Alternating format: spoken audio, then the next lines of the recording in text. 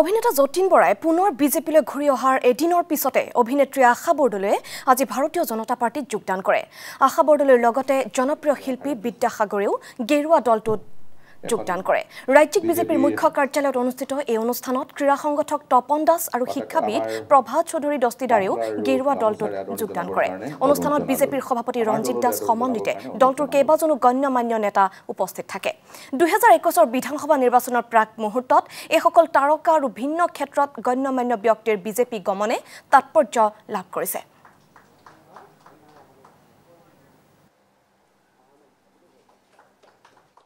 দুহেজাৰ ন চনত বিজেপিৰ অসমত তেতিয়া বেয়া দিন তেতিয়া কিন্তু বিদ্যাসাগৰে জইন কৰিছিলে বিজেপিত।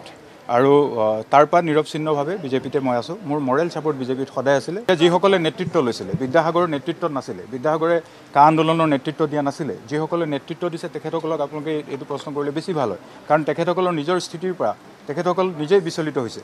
আজি কা আন্দোলনৰ যিটো মুখ্য উদ্দেশ্য সেই উদ্দেশ্য হওক পিছ পৰি গৈছে। তেখেতসকলৰ যি ৰাজনৈতিক সমীকৰণ তেখেতক সেইটো হয়তো মোৰ যিহেতু মই গণতান্ত্ৰিক এখন দেশত থাকোঁ গতিকে মোৰ নিজৰ ব্যক্তিগত কথা মই কোনটো দলক মই চুজ কৰিম নাই এতিয়া এনেকুৱা কথা নহয় যে বিজেপিত বিজেপিত মই কি জাতিৰ কাৰণে কাম নকৰিম। নেকি কাৰ চাওক এটা কথা হ'ল কি যে যুদ্ধৰ সেনাপতি যদি ছত্ৰভংগ দিয়ে তেতিয়াহ'লে আমি সৈনিকবিলাকে কি কৰিম? ভাৰতীয় জনতা পাৰ্টীৰ এজন সদস্য হিচাপে মই কৈছোঁ যে কা অসমীয়া জাতিক কেতিয়াও ক্ষতি নকৰে। অঁ ভুল ব্যাখ্যা দিয়া হৈছে মানুহক। মানুহক কোৱা হৈছিলে যে আজি চাওক ইমানকেইদিন ইমান বিৰতি আজি কা আন্দোলনৰ ইমান বিৰতি হ'ল। আপোনালোকে মিডিয়াৰ মানুহে যদি আমাক দেখুৱাই দিব পাৰে যে ইমান লক্ষ্য মানে বিদেশী অসমলৈ আহিলে আৰু যিসকল মুছলমান মূল মূলৰ মানুহ বা হিন্দু মূলৰ। গতিকে যদি দেখুৱাই দিব পাৰে তেতিয়াহ'লে আমি মানি ল'ম। ক'বলৈ গ'লে মই বিজেপিৰ নীতি আৰু আদৰ্শৰ প্ৰতি প্ৰথমতে আকৃষ্ট হৈছোঁ। দ্বিতীয়তে আকৃষ্ট হৈছোঁ ইয়াৰ এই দলৰ জ্যেষ্ঠসকলে যি দায়বদ্ধতাৰে আমাৰ সমাজৰ কাৰণে ৰাইজৰ কাৰণে কাম কৰি গৈ আছে তাৰ প্ৰতি আকৃষ্ট হৈছোঁ।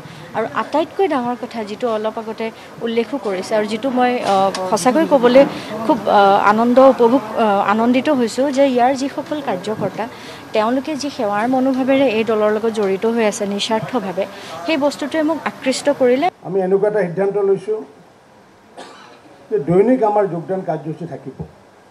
ইতিমধ্যে অসমৰ বিভিন্ন ক্ষেত্ৰৰ অৱদান থকা বিভিন্ন ব্যক্তিৰ লগতে যুৱকে হওক বা কৃষকে হওক বা বনুৱাই হওক বা শিক্ষকে হওক বিভিন্ন ক্ষেত্ৰৰ ব্যক্তিসকলে ইতিমধ্যে ভাৰতীয় জনতা পাৰ্টীৰ নীতি আদৰ্শৰ লগতে চৰকাৰখনে যি কাম কাজ কৰি গৈছে সেই কাম কাজৰ প্ৰতি আকৃষ্ট হৈ পেলাই ভাৰতীয় জনতা পাৰ্টীত যোগদান কৰাৰ কাৰণে সিদ্ধান্ত গ্ৰহণ কৰিছে।